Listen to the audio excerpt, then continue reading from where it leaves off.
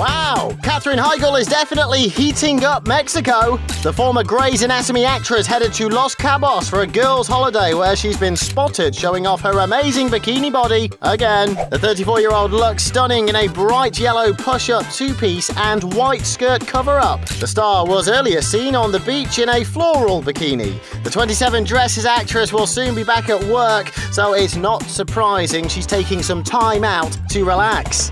Katherine looks like a ray of sunshine to us.